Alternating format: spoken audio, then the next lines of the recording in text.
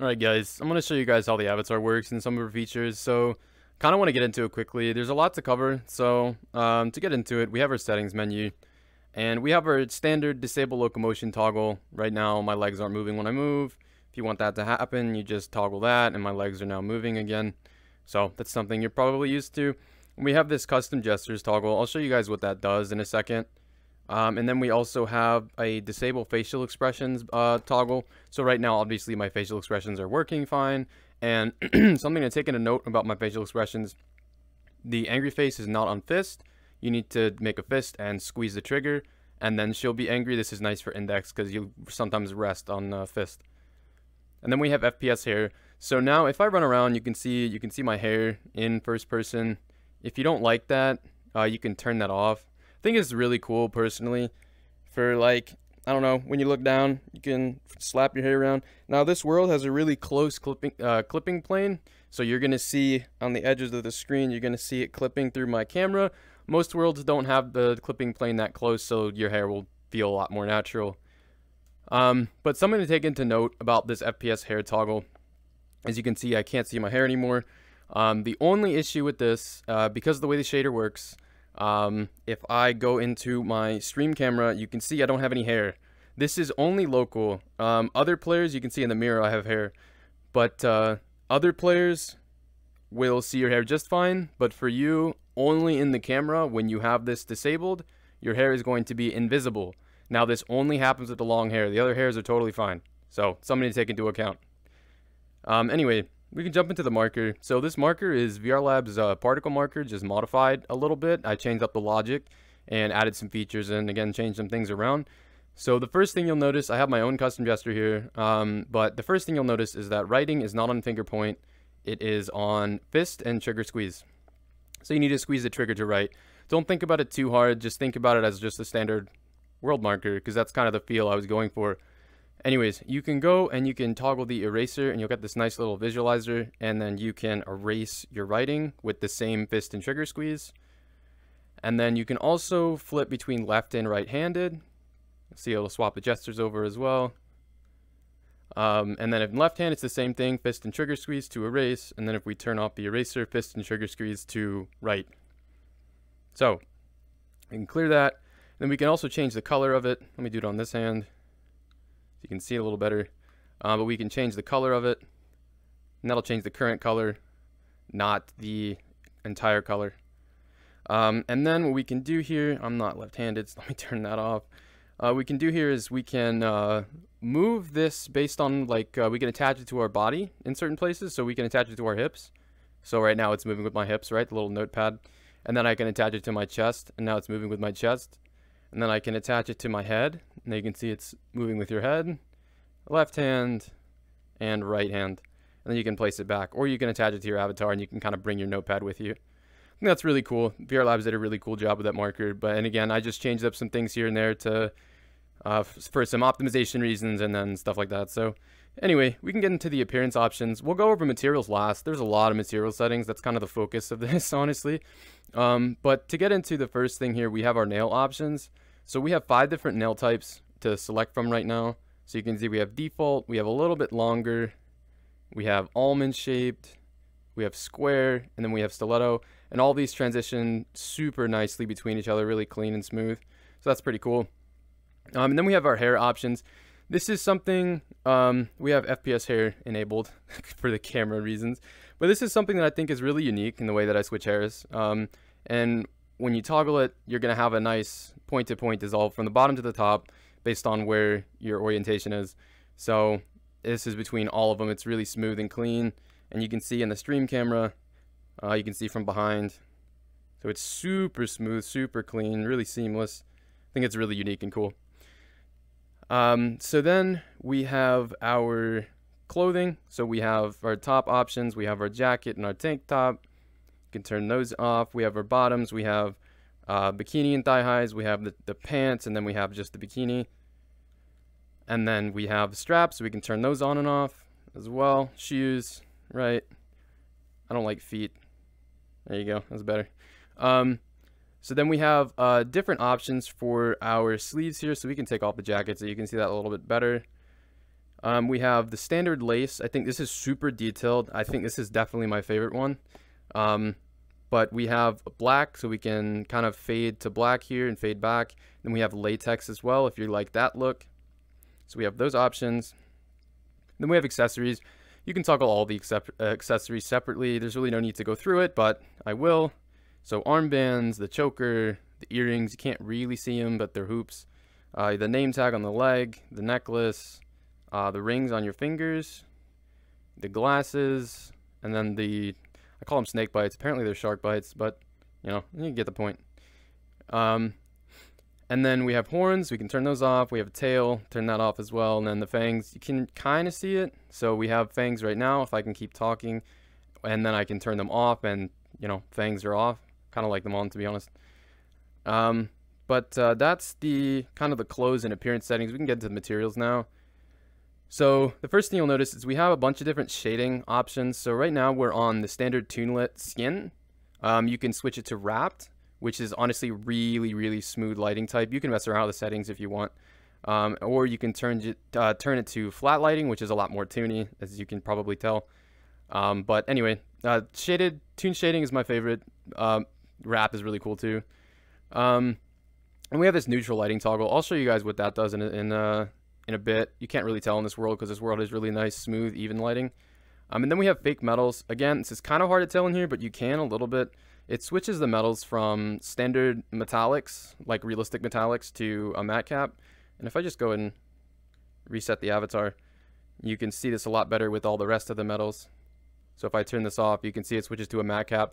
This is really good in worlds with a lot of bloom because the standard metal has a lot of sheen, uh, shine to it, so it can be really, really distracting and really annoying in bloom worlds, as you probably have experienced before with other avatars. If you don't want that, turn it to fake metals and you'll have a much better experience being able to see. Um, and then we have our audio link toggle. So this toggles emission overall as well as the audio link settings. Personally, I like having it off most of the time because I think she looks really good and just completely black. Um, but if you want to have this on, you can go ahead and turn that on and we have this emission on everything here. Same with the, um, the thigh highs too. That is a really cool emission pattern on them. Um, but uh, we'll get into the, uh, the the way the audio link looks in a bit. I think it looks really, really cool and unique personally. Um, but uh, to get into some of the colors, we have four different uh, color options here. We have our hair, so we can change our hair separately from everything else and we have white and black with it as well. Uh, we can do our main color, so that's going to be the main color of the audio link and the emission. And this is going to affect the tail, the pants, uh, all the basically all the main colors, right? Um, and then we have our audio link color. You won't be able to see this because we don't have audio link on. We're not an audio link enabled world. But this will change the audio link colors, obviously. And again, I'll show you guys that in a bit. I really think the audio link is a killer on this. Then we have our eye color. This is a hue shift, not a color shift, so you're not going to get white and black. Um, and then we have a rainbow cycle. This is just going to cycle everything from exactly where it started. Um, I think is really cool. It kind of, you can see that the hair is changing separately from the clothes. Um, and you can see that's based on where I started. So if I go ahead and pause the rainbow cycle, um, I can set, we'll say set this to the same purple around the same number and I rainbow cycle and it'll start from that color with everything. But if I wanted to go in, like we said a second ago, and switch this to like red, and then I cycle it, the hair is going to start off at red, and the body is going to start off at um, whatever color it was as well. So that's pretty cool. Um, let me just reset the avatar again. So we have also some lip colors here. So we have standard black. it's all top lip colors. And then we can do natural, and then we can do red. So those are three options there. Um, that's about it for all of the material settings besides audio link, which I'll show you guys in a bit. But to show you guys kind of the toys that she has, it's kind of standard on my avatars, seeing all these cool things um, as far as toys go and ADHD stuff. But we have our bats. They don't do anything besides hold in your hand and have nice custom gestures. I kind of was really bored and putting off working on the avatar, so I made bats and then I put them on because why not, right? Um, and then we have this kunai system, which you guys have, might have seen before in my previous avatars. Um, if you haven't, it's basically a throwable knife. You have a bunch of different positions that you can hold it in your hands. So it's left and right-handed. Um, and if you hold a fist, it'll go in your right hand with your right hand. If you hold a fist in your left hand, and do a neutral in your right, it's going to go into your left. And then on index, I know this works like a charm, but I know on uh, Oculus and um, the Vive wands, they it might not work as well, or it might not work at all. Um, but if you hold a fist and you squeeze the trigger, it's going to flip back to backhand, so you can swap between backhand and forehand. I think is really, really satisfying personally. Um, and if you don't like this behavior, you can go ahead and disable the reverse grip here. So now I'm squeezing the trigger and nothing's happening. Um, and then what I can do now is I can show you guys kind of all the positions. So you have fist, and then like we said, backhand. Peace sign will go between your fingers. Uh, finger point will bring it to your pointer finger so you can spin it around. And you can kind of just flip between them all and kind of just throw the knife around. And the same thing with um, both hands. You can send it back and forth between any of these states and you can just flip it around and have a lot of fun with it. It's just fun to play with. Um, and then also the kind of the coolest thing in my opinion is you can throw this and this is throwing it is where it differs from my last avatars. Before you threw it and it just kind of exploded into some sparks. With this one, when you throw it, it's going to stick into the ground. I think it's really satisfying. It's also, it doesn't care what position it was in when it hits the wall. Some colliders are kind of off, but you can see it sticks out at whatever angle I throw it in, which I think looks really cool. It's really satisfying having it stick into walls. Um, but that's an option that wasn't uh, available on my last ones. And finally, we have our thumbs up throw. This is for the non-index crowd or even the index crowd if you guys don't like feeling like you're going to throw your controllers across the room. Instead of open hand to throw, you can make thumbs up and it's going to throw instead. Pretty self-explanatory, to be honest. But yeah, works great. And then also this knife is going to change color based on your primary color. So if I go back into our material settings and primary, I can change the color of the knife along with the primary color of everything else. So important note. Um, oh, and it goes white. It doesn't go black. It goes white though. Black looks kind of weird, so I didn't put it in.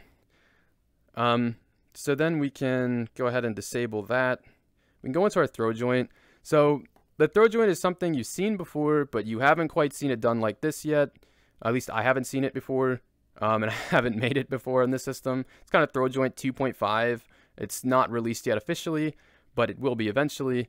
Um, anyways, so standard throw joint, you enable it and finger point on the right hand, finger point with your left hand and your right hand, it'll go in between and then finger point with your left hand, and it'll go onto your left hand. So this is something you've seen before. Um, but something uh, you probably haven't seen before are the positions. So now, instead of it just being on my finger, I can move it to my hips. And right now you saw when I moved it to my hips, nothing happened. That's because this, this position here replaces the throw, right? So if you're on the hands mode, you can actually throw it. Now if you're on hips or left leg or left foot or right foot, you can let go and it's going to go ahead and on hips, it's going to orbit around your hips forever, um, which is pretty cool. And that works with dual joints as well. So we have two, uh, one on left hand, one on right hand, and it's going to orbit around separately. And then I can go ahead and catch them and it'll do the same thing. I can throw them again and it's going to go around my body. And this, again, is going to keep the velocity that you, that you had when you threw it. So if I throw it really shallow, it'll stay really close. And if I throw it really fast, it's going to go farther away. And then again, we can catch them. And now we can kind of uh, also put it on each foot here. So I'm going to do that. Um, so I can take it on my right hand, take it on my left, right? And then I can throw it onto my right foot. And I think the feet is interesting to play with. If you have good balance, you can kind of spin it around your foot and then send it around your body if you switch to the hips at the right point. So I think it's really fun to play with. So again, you can see my menu here. When I uh, switch it to my hips. I can kick it around, switch it to my hips, and it's going to fly around like that. And same with the left foot. You can do the same thing. Or if you don't want to do that, you can just catch it between your hands and send it back to your foot. You kind of do figure eights if you want. It's just fun to play with. And then you can send it right back to your hips if you want, and it'll spin like that. But if you want to throw it again, you can just switch it back to throwable, and let it go and it'll fly across the room. Now, another cool feature about this throw joint that hasn't been on my previous ones is that you can throw as many as you want. There's no performance impact. Before, you would kind of like run out of throw joints if you threw too many.